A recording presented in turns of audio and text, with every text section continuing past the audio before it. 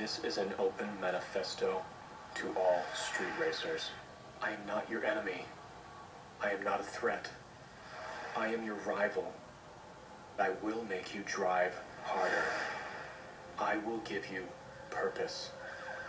The police have called us a network of racers and classified us as an organized criminal enterprise. Until today, this was a lie. Until today, we were not organized and we were not a coordinated network of outlaws. But today, the lie becomes true.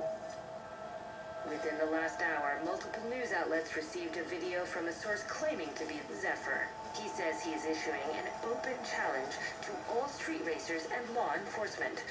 In the video, he has posted a map where racers and cops can settle their rivalry once and for all. While law enforcement is billing this as a declaration of war by the racing community, Zephyr claims it is, quote, the ultimate reality show. It ends now.